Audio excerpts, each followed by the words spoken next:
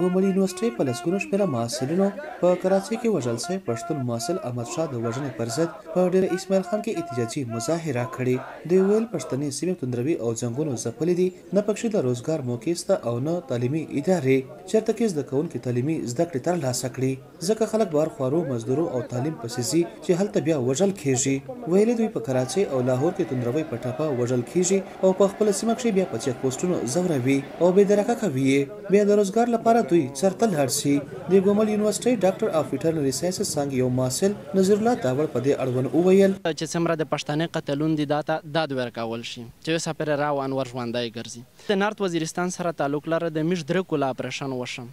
په دا درې کلا اپرېشن کښې د پاکستان چې څمره هه ډېفېنسېو وسائل دي هغه ټول د خپلې پښتانۀ د پاکستان د شهري خلاف استعمال شول. د ميږ ملې ړانګې کړلې، د ميږ به زورينه اړانګ کړل، د ميږ بچيون يې شهيدون کړل، د ميږ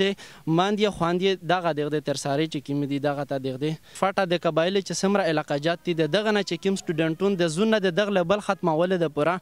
دغدې چې کله بهر شاري نه تر وتل نن د پاکستان زه په ګوټ ګوټ کښې محفوظ نه يم. زه دنيو ته دغه پيغام ورکوو دغه شی زه د ټول چه پاکستان سمره اداري دي حکومت ته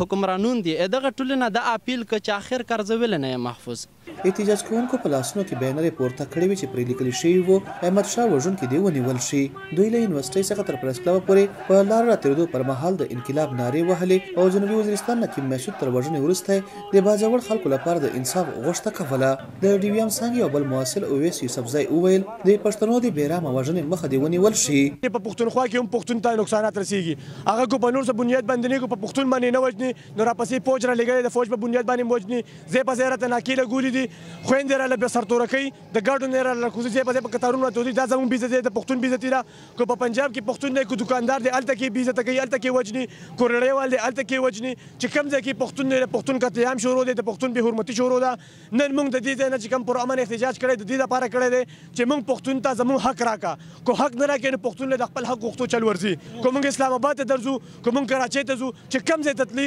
کو سر پکې کټ کېږي زما چې د احمد شاه غونته کې رور کتل کېږي د ګل غونته کې رور مې کتل کېږي زه یې پکې پنځوس پېرې کتل شم زما دا ړوند دې پکې سل پېرې کتل شي خو انشاءالله پښتون به اوس رستو کېږي نه. موږ به خپل حق اوس په خپله اخلو. دوی غوښتنه وکړه چې د عدلي ستره محکمه دې د بې رحمه وژل شوي احمد شاه د وژنې نوټس واخلي او ریاستي واکمن دې سیمه ییزو خلکو ته تحفظ ورکړي. ویې ویل، ریاستي ادارې پښتنو ځوانانو ته تحفظ او انصاف ورکولو کې پاتې راغلي دي. د یوګمل یونیورسټۍ د پښتون سټوډنټ فدرېشن مشر او د جرنلېزم ډېپارټمنټ محصل حسن محسود په دې اړوند وايي. حکومت پاکستان باندې د پاکستان په ادارې باندې دا يو غټ سوال يې نشان دی چې دی يو د يونيورسټۍ طالب علم ته تحفظ نه شي ورکولای نو دا يو عام ولس ته عام عوام ته څه قسم تحفظ ورکوي. دغه د احتجاجونو تازه لړۍ په داسې حال کې پيل شوې چې د اسلام اباد پرلت وروسته د پښتون ژغورنې غورځنګ د ملي پاڅون شکل اختيار کړی. او څېړونکي وايي داسې ښکاري خواره واره پښتانه یو موټی سوي دي او نور په ریاستي تېري غلي نه شي پاته کېدی. عدنان بېټنی، وایس اف امریکا، ډیوه راډیو او ټي وي.